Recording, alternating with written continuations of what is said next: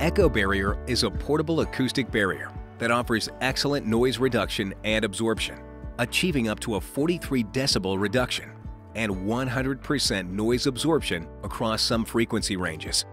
With correct installation, the Echo Barrier noise system is often able to reduce various noise sources 10 to 30 decibels in the field, depending on the nature of the noise.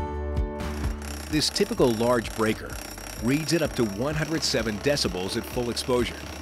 Placed within an enclosure of Echo H9s, the noise is attenuated down to around 83 decibels, a reduction of 24 decibels.